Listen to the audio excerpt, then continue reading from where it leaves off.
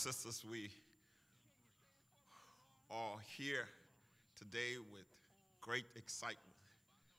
Uh, and, and I'm going to say as the television people say, got breaking news. We, breaking news is the last week we, we took off telling Brother King, again, I'm grateful for him uh, in the media ministry. But I was telling him I wasn't ready uh, to have our lesson for our Bible study for 2022. By the way, Happy New Year's. It's so good to see that you've made it in the, in the new year. Got, got over 21 and walking into 22. So we, we wish you a most prosperous uh, and happy, which means blessed, new year. So we come, we come with some exciting news to give to you. We've come to you with our new uh, direction, our new theme, the key word challenge, another key word overcoming, another key word victory. I, am sitting at the end of the year in, in an installation service, and God gave me this scripture because I was asking, I said, Lord, I, I was going to do the invitation discipleship at a pastor's installation. And I wanted a scripture. I said, Lord, a scripture. First John, I think it's First John, he gave me, I think it's in that fifth chapter. And the word that come, he that overcometh the world. It's him that do it by faith. Who is he that overcometh the world? It's him that believes that Jesus Christ is the Son of the living God. I thought I could have left that at New Birth Missionary Baptist Church with, with the new pastor, Pastor Morris. I thought I had to leave that with them. But God says no, and on that the Friday night New Year's Eve service, we preach about overcoming. And uh, uh, Pastor Bishop Cook sends the book uh, uh, we were not created to be defeated.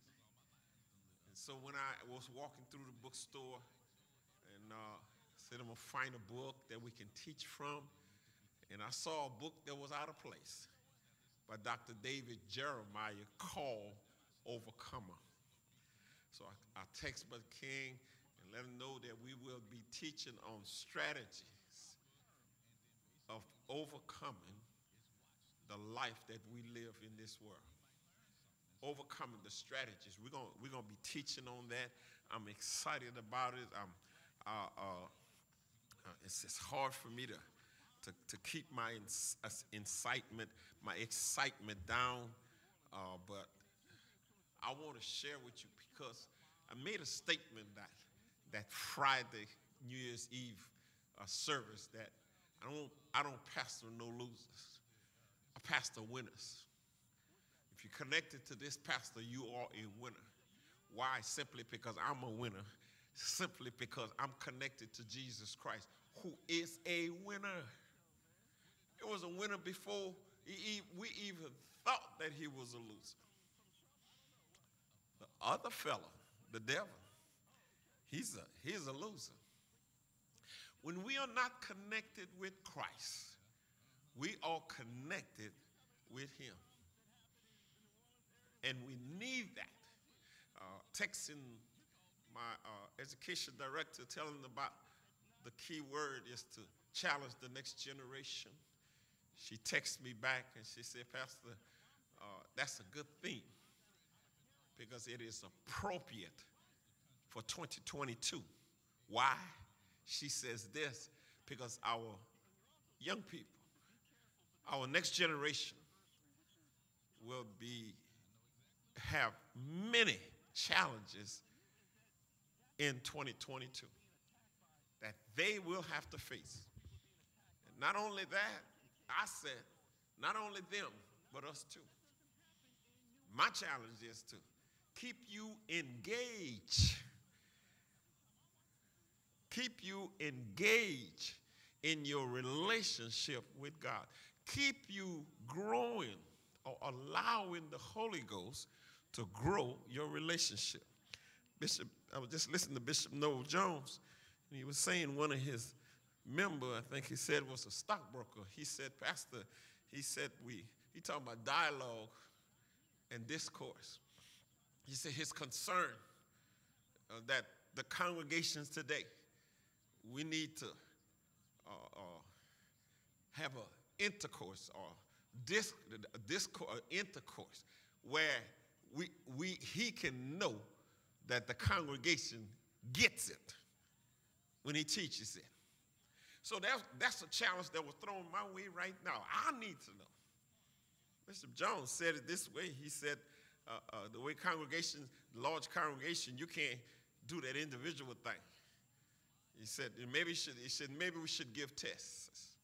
I'm not going to give tests. But as a smaller congregation as we have, even if we act like a, like a mega church, yet and still, I need to know if you are engaged with the teaching in this ministry. It's, it's, it's, it's valuable to me. Brother King works hard to present this thing, this ministry. What has uh, uh, the value of this ministry have grown because of the because of the partly because of the pandemic. And all, all we had to do was I was sick and shut in. That's all we talked about. What's going to happen with the sick and shut in? Now everybody. And so this ministry here, as we teaches you about the strategies, the strategies that you need to overcome the challenges of this life. Because, because why? Because we know it's hard out there. Sometimes it, it feels like the, the world is ripping apart at the seams. Sometimes it, it feels like our hearts can't take any more hurt. But, but, but, but, no matter, but, no matter what the world throws at you anxiety, fear, confusion, and even temptation you have a choice on how you respond to those challenges. Or you can concede defeat, or you can live a life of victory in God. It's easy for us to choose uh, uh, a victory. I take victory. But, but, but are you ready? Are we ready to walk each day in victory? Are we ready to win the fight against fear? Are we ready to overcome the world in practice and not do it just in theory? Well, with the help of Dr. Jeremiah's book, Overcome, I, am going to show you how you can overcome, how you can be an overcomer. What would happen if you, if you face your challenges? in the name of Jesus. What would happen if life be, be like if your, if your goal in every situation was to bring glory to the name of Jesus? What would happen if we would fully embrace God's strategy for victory? If, if, we, if you do those things, you most likely would be an overcomer. And, and believe it or not, that's who you really are. When you place your faith and your hope in Jesus Christ. Paul says in Romans 8 and 37, if he's the writer, he is the writer. He says this, yet in all these things we are more than conquerors through him who love us. The book teaches us, teaches us, it will teach us God's strategy for overcoming the challenges that you that you're going to face. How do I know what those strategies are? Because when the Holy Spirit inspired the Apostle Paul to list the spiritual armor that we need to protect ourselves. This is what Paul says. Finally, I like that. My brethren, be strong in the Lord and in the power of his might. Put on the whole armor of God that, that, that, that you may be able to stand against the wiles of the devil. For we do not wrestle against flesh and blood, and, but we wrestle against principalities, against powers, and against the rulers of the darkness of this age, against spiritual hosts of wickedness in heavenly places. Therefore, take up the whole armor of God, that you may be able to withstand in the evil day. And having done all to stand, stand therefore, having gird, girded your waist with truth, having put on the breastplate of righteousness, and having sod your feet with the preparation of the gospel of peace, above all, taking up, taking the shield of faith, with which you will be able to quench all the fiery darts of the wicked one, and take the helmet of salvation and the sword of the Spirit, which is the word of God, praying always with prayer and supplication in the Spirit, being watchful to this end with all perseverance and supplication for all the saints. Ephesians chapter 6, verse 10 to 18. I, was, I read a little bit further. Paul says, uh, pray. He said, especially for him, because he was in bounds, which means he was in jail. And yet still he was doing ministry. And Paul was saying this pray for me.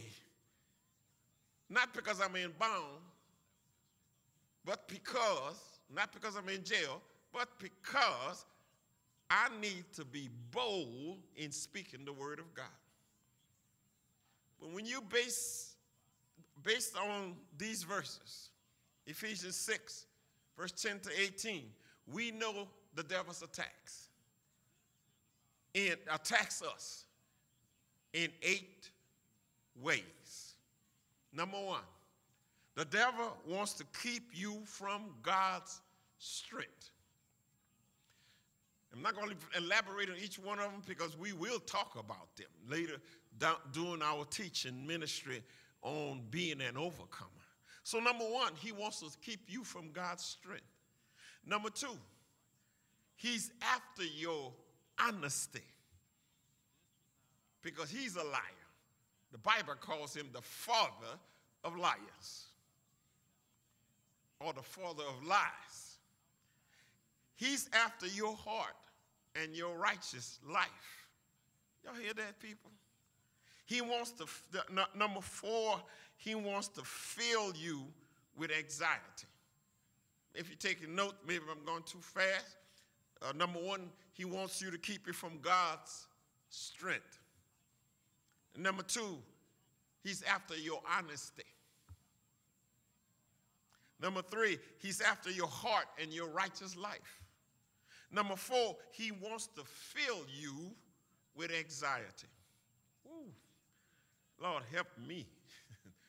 he wants to fill you with anxiety. Number six, he longs to confuse your mind. What should I do? What should I do? How should I do? What should I do? When should I do it? He wants to confuse your mind. And then, number seven, he loves to tempt you to do sin. He wants you to sin. And lastly, he hates it powerful. He hates when you pray. The devil hates when you pray. They say he was afraid. He said, they said it hates. He hates when you pray. In each one of those chapters, we're going to learn some overcoming strategies to defeat all eight of those attacks.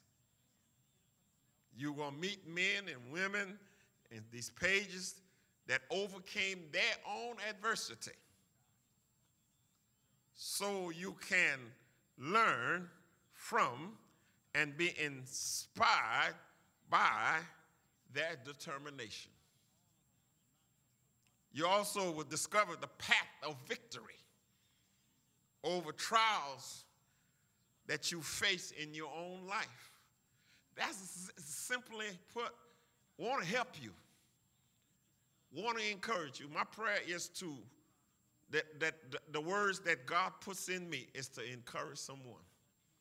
Yes, all of them, all of their trials were loss, it was disappointment, betrayal, abuse, injuries, lies, addiction, self doubt, mistakes, grief, anger, anxiety, and one of them that we got some regrets. That's our trials. Can I name them?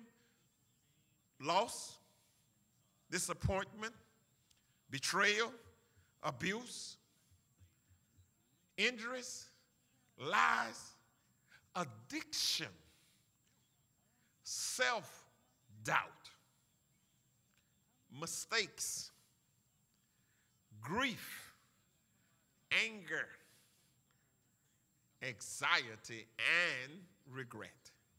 There is nothing that the devil can throw at you that you cannot overcome. Get excited. Get in your spirit. Get ready. Get get ready. Uh, can you see the, the, the, the method or, or, or, a way of being methodical? First of all, telling you what to wear. Why would I tell you what to wear for war if you're not going to war?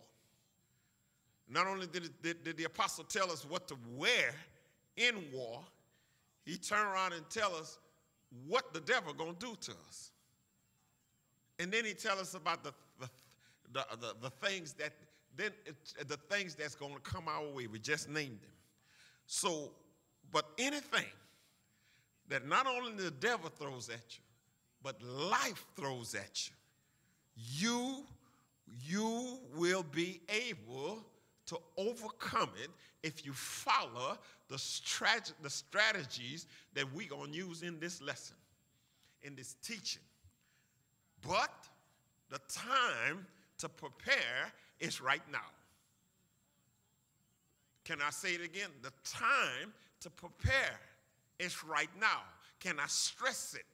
The time to get ready is right now. Jesus told, told, told uh, uh, the people in the, in the parable of the, uh, the, the, the, the, the uh, bridesmaid prepare right now when Satan attacks come, Dr. Jeremiah said that you will not have time to Google the spiritual armor. You won't have time to call a friend to get advice on a counterattack of the, to, of the devil. You may not even have time to get on your knees to pray. So, what do you do? You prepare right now.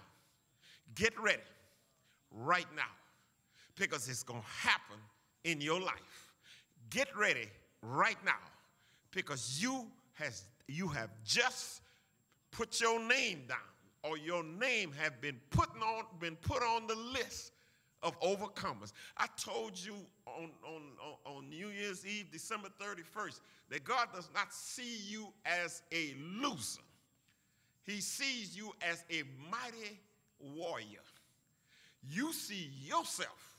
Somebody else sees you as a loser, but God sees you as a mighty warrior. In our first chapter, we're going to focus on David, the Old Testament's greatest overcomer. In the last chapter, we'll tell the story of history's greatest overcomer, the Lord Jesus Christ. And, and, and through the rest of the chapters in between, we'll discover eight strategies for overcoming the challenges we will face in our lives. Number one, the eight strategies. I'm to get that word right after I'm to pronounce it about a thousand times. Strategies to overcome the challenges that we're to face in life. Number one, how can we overcome weakness with strength? That's the first thing. What was the, what was the first attack of the devil? That he won't keep you. He wants to keep you from God's strength. So, number one, we can overcome weakness with strength. Number two, how can we overcome falsehood with truth? The devil don't want you honest. So number two is how can we overcome falsehood with truth? Number three, how can we overcome evil with good? Because the devil won't want, want to go after your righteous life if you are living one. So, how can we overcome evil with good? Number four, how can we overcome anxiety with peace? The devil wants to fill you with anxiety. But we're going to teach you how to overcome anxiety with peace. Lord, I'm going to be a better person after all of this. Number five, how can we overcome fear with faith? Devil wants you to doubt fill you with doubt, but we're going to overcome fear with faith. How can we overcome confusion with wisdom? How can we overcome confusion with wisdom? Number seven, how can we overcome temptation with sin? because the devil want to tempt you to sin. That's number seven of his attack. So number seven of our counterattack is how to overcome temptation with scripture. The devil wants you to wants don't don't want you to pray. So number eight, the eighth strategy is to overcome everything with prayer. Remember the scripture says, in all things prayer and supplication in all things. The journey of the overcomer is a wonderful, profound, healing journey. God is all good, and He only gives good gifts, one after the other, again and again, to strengthen you to whatever the future holds for you. I got a plan for you and it is for good. If you open up your heart to receive those gifts, He will fill you with it. He will fill it to you with overflowing. Life, living the life of an overcomer, will bring strength, it will bring peace, it will bring courage. It will bring hope, joy that you've ever known, that you have never known. It will bring also victory in your spiritual life. That's my purpose. That's important because victory is God's purpose for his children. Thanks be to God who gives us victory through our Lord Jesus Christ. 1 Corinthians 15 and 57. Thanks be to God who always leads us in triumph in Christ. 2 Corinthians 2 and 14. Join us, those of you of the members of this church and those of you who are watching from others. Join us on this journey to live an unstoppable strength, unmovable faith, unbelievable power in the face of every challenge that will come your way. Join us and embrace your God given destiny, for you are an overcomer for you are an overcomer. He put a colon there. The, uh, Jer- Dr. Jeremiah put a colon on that because a colon is in between a question and a period. Either you're an overcomer or you're not. I say to you, if you are an overcomer, walk with us. If you're not an overcomer, walk with us and you will become an overcomer. Engage yourself into this teaching ministry, into this teaching here. I promise you that I'm going to put everything that I have in it and let the Lord do the rest. So I say to you, people of God, you are an overcomer. You are a winner. God, Dr. Jeremiah said it, uh, Bishop, Bishop uh, Cook said it, God had not created you for defeat. He have made you to be a winner. You read in Genesis, you shall have dominion over all the things of this world. Dominion, even the evil one. Because God gonna help you to overcome him. So I say to you, people of God, let me pray for you. Gracious Master, we come in the name of Jesus Christ. We thank you for running head on into this word, an overcomer, uh, uh, facing our challenge, winners, victory. You said this is the victory, even our faith. You said, Who is he that overcometh the world? Him that believe in Jesus Christ as the Son of God. We do believe that Jesus is the Son of God. So Lord, continue to give us victory every day. Every time defeat come our way, we rebuke it in the name of Jesus. Every time the evil one come, we rebuke him in the name of Jesus. We rebuke him as Joshua the high priest stood before the angel and the devil stood on the side of him. You spoke to him. You spoke to the devil and said you rebuke him. And Lord, we stand right now rebuking the devil in the name of Jesus Christ. He is the father of lies. We love you and we bless you. Good evening, Law Street. Good evening, my friends and my brothers and my sisters who have come and shared with us in this ministry. We ask that you please, sir, please, ma'am, continue to join us every week. As much as Brother King and God has allowed and will allow us, we're going to be right here. And we ask that you be right there. Click on the lesson. Those that you missed, go back. If it's something you didn't understand, go back and listen to it again. And you're guaranteed, call me and I'll help you to understand it. God bless you. I love you with the love of God. Law Street, hopefully, prayerfully, that we see you Sunday morning for Sunday school, 8.15, and church service at 9 o'clock this Sunday for communion.